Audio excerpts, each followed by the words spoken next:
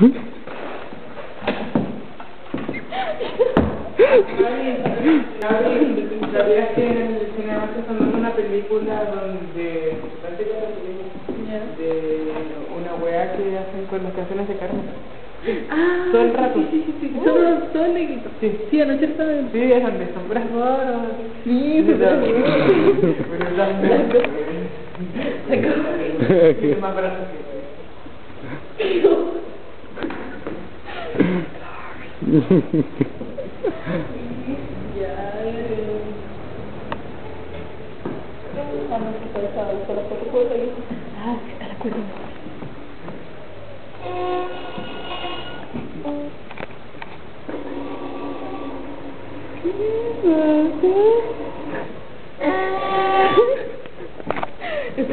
de una insectora. Ya, qué